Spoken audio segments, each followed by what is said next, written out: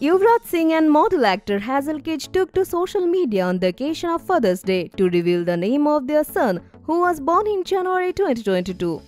The celebrated couple have chose the name Orion Keech Singh. Welcome to the world Orion Keech Singh. Mummy and daddy love their little putter. Your eyes twinkle with every smile just as your name is written amongst the stars. Hashtag Happy Father's Day. According to the celebrity astrologer, the baby boy's arrival will prove to be extremely lucky for the couple. His parents have struggled to have him, and such as his arrival is very good for the family. The child will also be very good for the mother and Yuvraj Singh's professional life as well. He added, in an exclusive chat, Yuvi gets excited and emotional as he talks about his newborn son, who they have named Orion Keech Singh. He said, My parents would always tell me, one day when you will become a father, you will understand the love your parents have for you.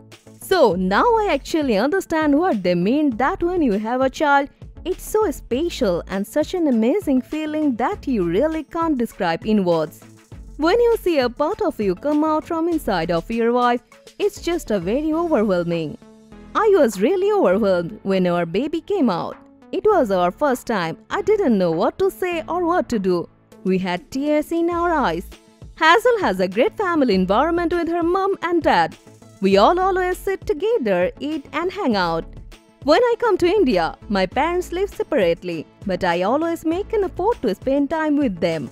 He said.